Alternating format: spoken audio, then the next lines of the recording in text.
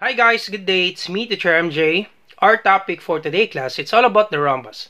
Finding all sides and all angles. So without further ado, let's do this topic. So we have given rhombus rose and line segment EO, that would be equal to 16. So once again, this EO, this is diagonal, and that is equals to 16. RS, okay, this line segment RS, diagonal RS, that would be equals to 12 and we have given one angle. That would be angle R OH that is equals to 37 degrees. And we are told to find all sides and all angles. Alright so once again class before finding all sides and all angles you need to master the properties of the rhombus. So I will just leave the link on the description down below. Alright so let's start finding all sides and all angles. Now the first property class that you need to remember in finding all sides and all angles for finding the angles class, you need to remember this one, that diagonals bisect opposite angles. So this diagonal EO and this diagonal RS bisect opposite angles. Now what do you mean by bisect, sir? So this diagonal EO class cut this angle E and angle O into two equal parts. Okay, the word bisect there, you cut an object into two equal parts. So diagonal bisect opposite angles or diagonal bisects opposite angles. Therefore, this diagonal EO cut this angle E and angle O into two equal parts. Therefore, if this is 37 degrees for ROH, this SOH is also 37 degrees. Alright, now question, why is that, sir? Because this line segment EO cut this angle, okay, this angle right here, class, this one, okay, if you have angle O, this diagonal EO, this one, cut this angle, this angle right here, into two equal parts. This angle is congruent to this angle. So that's the first thing that you need to remember, class, with regards to the properties of a rhombus. So this diagonal right here, cut this angle into two equal parts. So therefore, if this is 37, this will be also 37 degrees. Alright, now next property, you need to remember in the rhombus that opposite angles are congruent. This angle E is congruent to angle O.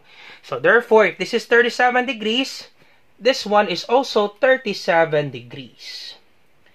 Alright, so angle REH is 37 degrees. If this is 37 degrees, this will be also 37 degrees. Opposite angles are congruent. Alright, easy, right? For the rhombus. Now, one property of a rhombus class that you need to remember, diagonals are perpendicular. What do you mean by that one, sir?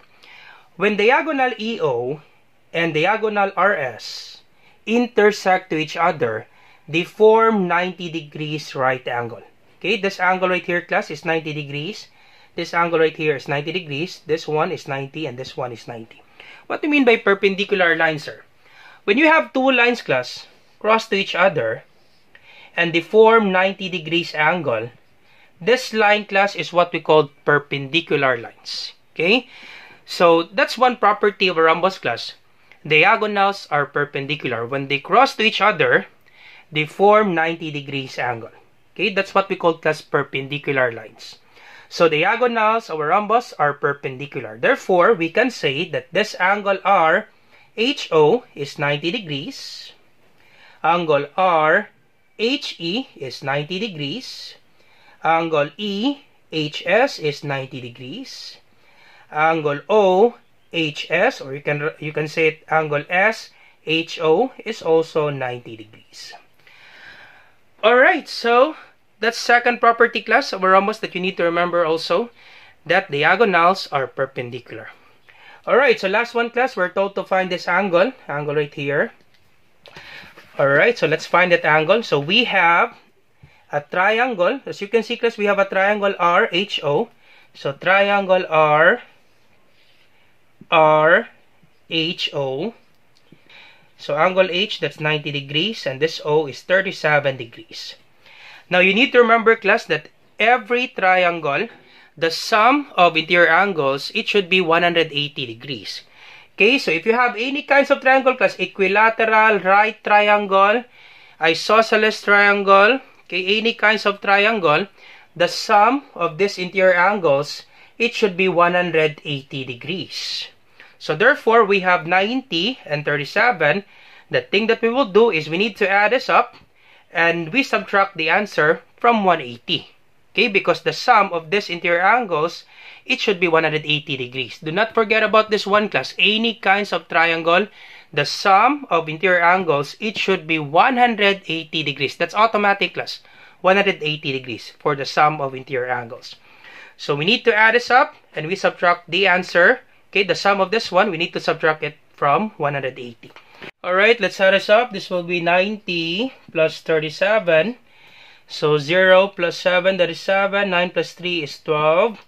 And the answer, we subtract it from 180. So 180 minus 127.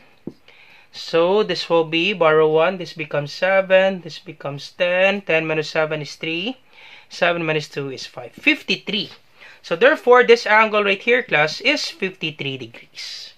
Because if you add this up, 53 plus 37, that is 90. Plus 90, that's 180. So the sum, plus, it should be 180 degrees. The sum of interior angles, it should be 180 degrees. Okay, do not forget about this one class. The sum of any triangles of interior angles, that should be 180 degrees. Alright, so this will be 53 degrees. So if this is 53 degrees, this is also 53 degrees because diagonal bisect opposite angles. They cut this angle into two equal parts. So this is also 53 degrees. Now if this is 53, this is also 53 degrees. Opposite angles are congruent. So 53 degrees and 53 degrees. That's it class. All set for the angles. So easy right for the angles. Okay. So quite easy for the angles. So we're done with the angles. So once again, you can write this one. For the angles class, you can write this one angle R EH. So angle R, EH, R, EH, that, that is equals to 37 degrees. So that's how you write the angles class. Or you can write angle S, EH, or H, ES. So that's that's okay class. That's actually the same. So angle S, EH, that's also 37 degrees. So you can try that one class, naming these angles. We already have the angles. Let's find all sides class. Okay, I hope you underst understand this one class in finding all the angles. Quite easy, right? So once again, if you want to learn more about finding all sides and all angles, we, we do have another video for this one class. This is already part 2 of our video in finding all sides and all angles. Alright, let's find all sides. So we're done in finding all angles. So we have given EO, line segment EO, Alright, that is 16. 16, the value of EO, oh, that is 16. Therefore, this one right here is 8. And this one right here is also 8. Why is that, sir? Because diagonals of a rhombus bisect each other. What do you mean by that one, sir? They cut each other into two equal parts. So when diagonal RS intersect to diagonal EO, okay, when they meet each other, class, they cut themselves into two equal parts. Okay, if we have line segment RS, and we draw another line, that is line EO, this EO class cut this RS into two equal parts. That's why the property there, diagonals bisect each other. They cut this RS, okay, this EO, cut this RS into two equal parts. Therefore, this line, okay, this, this one is congruent to this one. Okay, if this is H, this RH is congruent to SH. So I hope you understand this one clip. So if you understand that one, if this is 16 for EO, therefore OH is 8 and EH is also 8 because 8 plus 8, that is 16. Alright, so if RS is 12, RS is 12, therefore RH 12 divided by 2, that would be 6. And SH is also 6. Alright, so this line is congruent to this line. Alright, so we have SH, that is 6, RH, that is 6, because 6 plus 6, that is 12. And that's the value of RS. And EH, that is 8, OH, that is 8, because 8 plus 8, that would be 16. And that's the value of EO. Alright, so almost done class. We have 6, 8, and then we're lacking the side. Now, always remember, class, that in a rhombus, all sides are congruent. So we're locking this one side. So let's draw this one. We have triangle. Okay, let's just draw this one triangle, class. R, O, H. We have triangle ROH. And we have RH, that is 6. And we have HO. So HO, that is 8. Or OH, that is 8. So let's draw this triangle class. I hope you understand one class. I'm focusing in this triangle RHO. Okay, RHO, we have 6 and then we have 8. 6 and 8 class for RHO. And we're looking for this one side. Alright, and we have 90 degrees angle. Now, once again class, if you have 90 degrees angle and you have a right triangle, you can find the side class by using the Pythagorean theorem. Once again class, this is the longest side and we call this side the hypotenuse. Do you still remember class, Pythagorean theorem? Okay, if you have a right triangle, okay, if you have a right triangle, sir, when, when do we know, sir, when do we know that this triangle is a right triangle? If one angle class measures exactly 90 degrees, so we have 190 degrees, Therefore, we call this triangle right triangle. So right triangle, when one angle measures exactly 90 degrees, we call this triangle right triangle. Now, if there is a right triangle, we can find its sides using Pythagorean theorem. Okay, and the formula, that would be c squared equals a squared plus b squared. And this c class is always the hypotenuse. Therefore, we're looking for this hypotenuse. So c squared equals our a Okay, you can choose either 6 or 8 plus. That would be the same answer because this is addition. So let's just use A. 6 for our A. So 6 squared plus B is 8. 8 squared. So actually class for A and B, you can have this 6 or 8. It could be interchange class for A and A and B.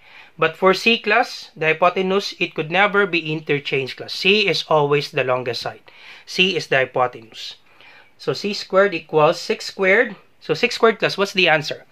That's correct. 6 squared, it means 6 times 6. That is 36. It's not 6 times 2 class. It means 6 times 6. Plus 8 squared, that is 8 times 8. And 8 times 8, that is 64. c squared equals 36 plus 64, that is 100. And to get the value of c, you extract square root both sides. Extract square root both sides. In our C, the square root of 100 class. Once again, class, we extract square both sides so that we can cancel this exponent too. Extract square root both sides. And the square root of 100 class. What's the answer, class? That's correct. That is 10. Alright, that's it, class. All set for this one class. Finding all sides. We're done with the rhombus. Finding all sides and all angles. So this is the value of the side. This is 10. Alright, so this is 10 for RO, line segment RO. Now, always remember, one property of a rhombus, all sides are congruent. The definition of a rhombus class, all sides are congruent. So this is 10, therefore this is also 10. This is also 10, and this is also 10. That's it, class. All set for the rhombus, finding all sides and all angles. So I hope you understand this one class. So once again, if you like this video, do not forget to like, share, and subscribe. You share to your friends class and to your classmates so that we can help more students. Especially class to those students who are really struggling in solving math problems.